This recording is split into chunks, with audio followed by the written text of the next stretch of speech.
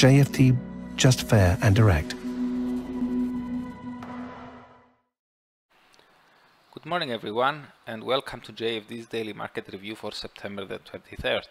I am Charalambos Pissouros, senior market analyst here at JFD and I will talk about yesterday's main market movers, what's my opinion moving ahead, what are today's important events and how they could affect the markets. But before we start, let's read our disclaimer. The content we produce does not constitute investment advice or investment recommendation, should not be considered as such, and does not in any way constitute an invitation to acquire any financial instrument or product. I will leave you a few seconds to read the rest and then we will jump into our analysis.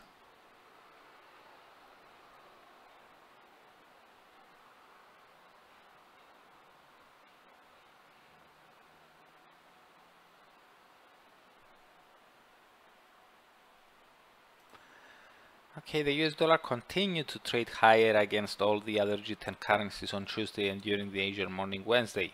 It gained the most versus Aussie, NOK, SEK and the Kiwi in that order, while it uh, recorded the least gains against the Canadian dollar. The strengthening of the US dollar suggests that the financial markets continue trading in a risk-off uh, manner. However, looking at the equity world, we see that this was uh, not the case. The majority of EU indices closed in positive territory, with risk appetite getting boosted uh, later during the during the US session. That said, uh, sentiment softened again during the Asian morning today.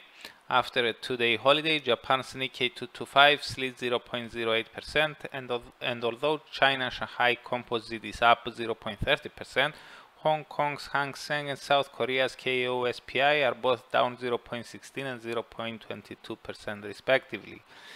EU indices were helped by a jump uh, in oil and tobacco shares with American tobacco and Imperial brands gay gaining more more uh, than 3% after uh, the RBC upgraded their ratings to outperform.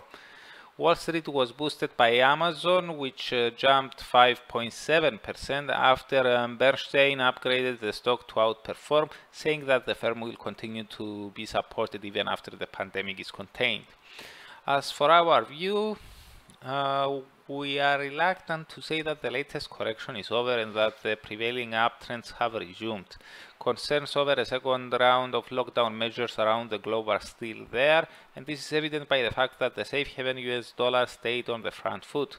The easing appetite during the Asian session today supports the notion as well, suggesting that yesterday's rebound may have been just a dead cat bounce before the next uh, leg south we repeat that the fresh fears of another round of restrictions, which could uh, hamper the economic recovery, suggest that there is uh, still ample room for further declines.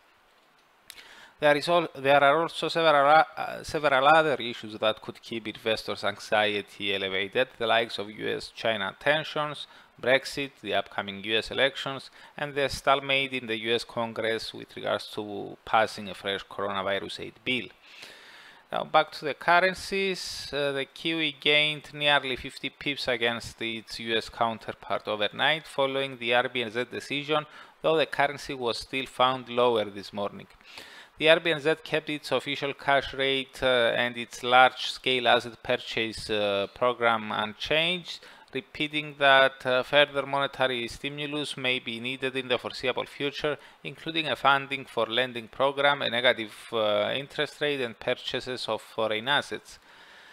The rally in the Kiwi suggests that many participants may have been waiting for uh, a more dovish uh, language, perhaps uh, clearer signals as to whether fresh stimulus measures, uh, as to when further fresh stimulus measures may be deployed. In any case, for now, we expect the risk-linked currency to be mainly driven by developments surrounding the broader investor morale. In case concerns over a second round of COVID-related restrictions trigger another sell-off in equities, the Kiwi is likely to suffer as well, especially against the safe havens US dollar and Japanese yen. As for today, the main event on the uh, the main events on the agenda may be the preliminary PMIs uh, for uh, September during the EU trading, we get uh, the PMIs uh, from several euro area nations and the bloc as a whole. Eurozone's manufacturing PMI is forecast to have risen somewhat to 51.9 from 51.7, while the services index is anticipated to have held steady at uh, 50.5. Strangely, this is expected to drag the composite index slightly lower to 51.7 from 51.9.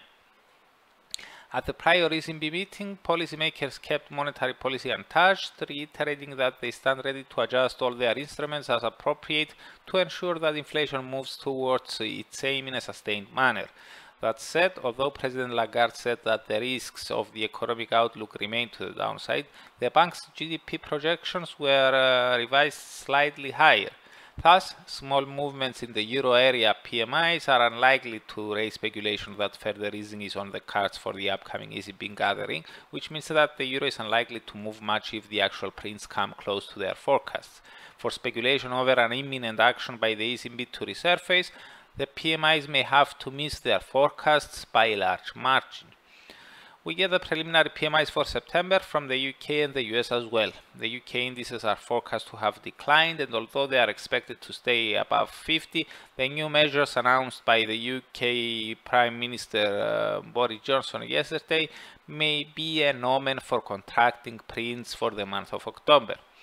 With regards to the US indices, the manufacturing index is forecast to have ticked to have ticked up to 53.2 from 53.1 and the services one to have declined uh, to 54.7 from 55.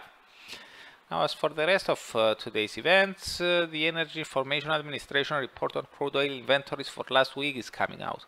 The forecast points to a 2.325 million barrels slide following a 4.389 million decline the week before. However, bearing in mind that the American Petroleum Institute revealed a 0.691 million inventory built yesterday, we would consider the risks surrounding uh, the Energy Information Administration forecast as tilted to the upside. We also have four speakers on the agenda. Chair Powell will uh, uh, Fed Chair Powell will deliver its uh, second speech before Congress, but, but we don't expect any fi fireworks.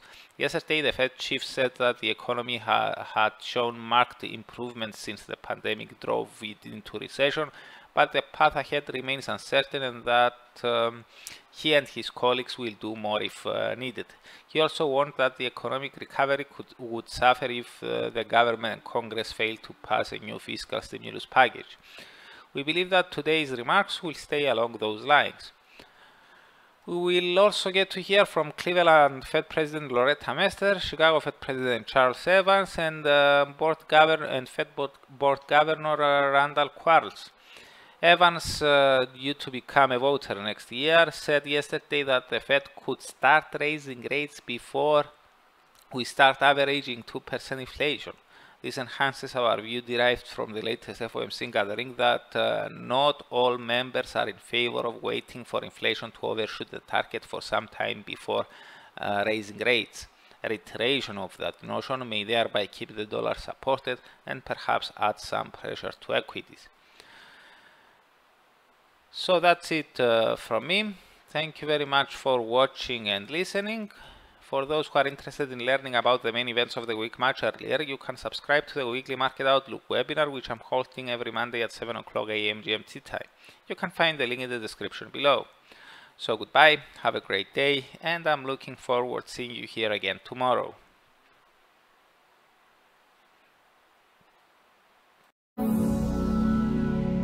JFD, just fair and direct.